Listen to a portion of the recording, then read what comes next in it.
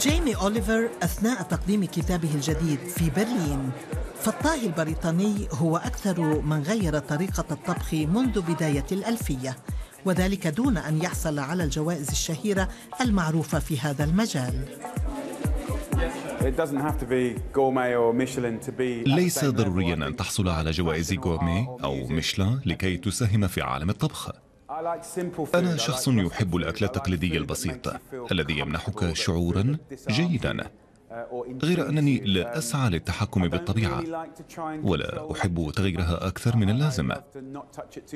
أنا أستمر في البحث عن المكونات وعملية التبضع تأخذ مني وقتا أكثر من التحضير. ببساطة أنا أعشق الطبخ. أصدرت جيمي أوليفر نحو عشرين كتابا في مجال الطبخ وآخرها يدور حول التغذية الصحية أو ما يسمى ب superfood حيث عمل على تطوير مواد غذائية صحية للغاية. وقام باختيار مكونات الأكلات بحيث تتناسب مع بعضها كثيرا. ويسعى إلى تهيئة وجبات صحية تحضيرها بسيط. وإن كان هذا الاتجاه ليس جديدا تماما. يوجد هذا الاتجاه منذ خمس أو عشر سنوات. لكن لا أحد باستطاعته إيصال الخبر على أوسع نطاق مثلي عن طريق 220 منتدى للتواصل في 110 بلدان. يمكن للمرء أن يتهمني أنني مقلد غير أنني لا أتبع أحد. بكل صدق إنني أستلهم أفكاري من الحياة ومن تجربتي. لكنه تقدير لكل الذين يعملون في مجال التغذية الصحية منذ السنوات الأخيرة. أنا أتبع هذا الاتجاه وأروج له بسرور على أمل كسب الملايين من الناس لهذا الأمر. بلغت جيمي أوليفر في هذا العام سن الأربعين وجمع خبرة عقدين من الزمن تقريبا. ولد في مقاطعة أسكس الإنجليزية وبدأت علاقته مع الطبخ في حانة والده وكسب الشهرة الأولى في سنة 1999 عن طريق البرنامج التلفزيوني The Naked Chef وهو في الرابعة والعشرين من عمره. كان يقدم برنامجا للطبخ يختلف كليا عن البرامج المعروفة في ذلك الحين. وأصبح كتابه الذي يحمل نفس اسم البرنامج من أكثر الكتب مبيعا في جميع أنحاء العالم. ما حدث قبل نحو 17 عاما لم يكن طبيعيا. كان نجاح البرنامج منقطع النظير في ألمانيا أيضا. كانت لحظة مميزة ساهمت في ظهور جيل جديد من الطباخين.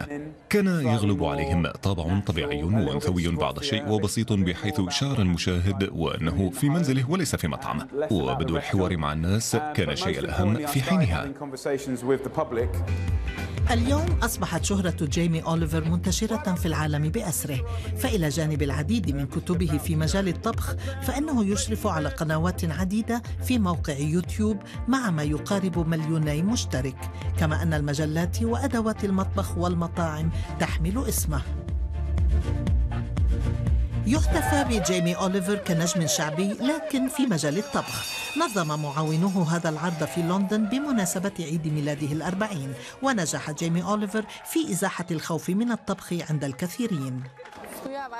في السابق كانت صورة الطبخ مرتبطة بأناس متقدمين في السن. وأعتقد أن جيمي أوليفر ساهم في تغيير هذه الصورة وأضفى طابعا شبابيا مرحا على هذا المجال. جعل الناس يشترون كتب الطبخ من جديد والشباب يلجون هذا المجال. كما أنه يروج للتغذية الصحية في المدارس ولدى الأطفال وأعتقد أنه قام بمساهمة كبيرة في هذا المجال وهذا أمر مهم جدا. لجيمي أوليفر أربعة أطفال ويخصص وقتا كبيرا للتغذية الصحية. ففي عام 2005 قام بحملة تغذية أفضل للتغذية المدرسية ومنذ 2015 يكافح ضد تناول السكريات بشكل زائد. لقد تغير العالم بشكل كبير في العقود الأربعة الأخيرة في مجال التغذية وطريقة الترويج للأكل. إنهم يقدمون لك وجبات في كل مكان. وتسعة من عشرة منها سيئة لجسمك. المهم بالنسبة للأطفال اليوم أن يتعلموا شيئا عن التغذية الصحية في المدارس وذلك منذ عمر مبكر وفي ألمانيا أيضا. يحتفل بالطباخ البريطاني كنجم للبوب لكنه يعتبر نفسه نجم الطبخ لا البوب فهو طباخ مشهور دون الحاجة إلى نجوم.